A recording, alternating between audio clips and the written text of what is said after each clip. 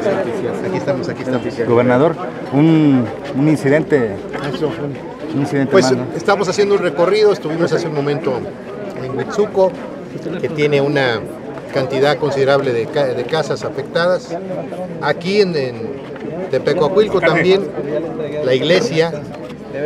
Y los- las afectaciones que hemos ido conociendo y que hemos ido encontrando son las que tienen que ver con la cercanía del estado de Morelos.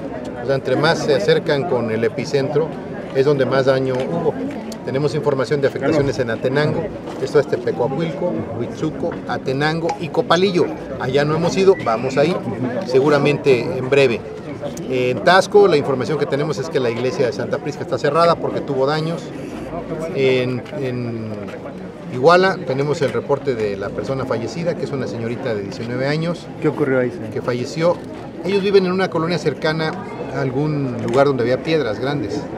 Cuando se da el, el sismo salen al patio y la- la- se vino una piedra y lastimó a la muchacha y finalmente perdió la vida en el hospital. ¿Es la única lesionada? Hasta fallecida? este momento es la única persona que tenemos reportada como fallecida y dos personas, sus papás lastimados, están en el hospital del Seguro Social.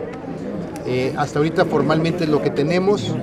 Eh, no quisiera yo dar otro dato porque entiendo que no es por la misma causa del sismo, pero eh, lo que les quiero decir es que los daños están radicados funda- fundamentalmente en las casas, que son casas antiguas, la mayoría de ellas son casas históricas por aquí pasó Morelos y por aquí estuvo Morelos son casas históricas que se han conservado con tejas, con eh, adobe y que ante el sismo pues eh, sucumbieron paredes y techos.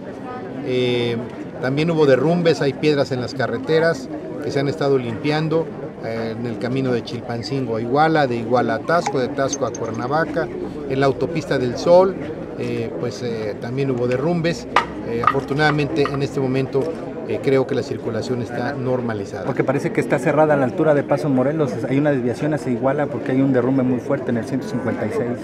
Parece que todavía está. Tendríamos que, tendríamos que verlo, pero aquí la- la- la- lo que les puedo yo decir es que la afectación en el estado de Guerrero está radicada aquí, en la colindancia con el estado de Morelos. No hay problemas en Chilpancingo, no hay problemas en Acapulco, no hay problemas en Cihuatanejo, no hay problemas en toda la Costa Chica, donde recientemente tuvimos el paso del huracán Max. Entonces, radicado el problema en las poblaciones en la colindancia con Morelos. Huitzuco, Tepecoacuilco, Atenango y Copalillo en la información que tenemos y algunas afectaciones en Tasco en la iglesia. ¿Como cuántas casas, señor? Un aproximado, yo creo que sí son más de 100, ¿no? Como Sí, yo creo que en la suma de todo esto, pues van a ser, yo creo que más de 100, yo creo que calculo de acuerdo a la información que te tengo de Atenango, de Copalillo, pues yo creo que van a rebasar las 200 casas afectadas. Gracias, Gracias, señor gracias. Gracias.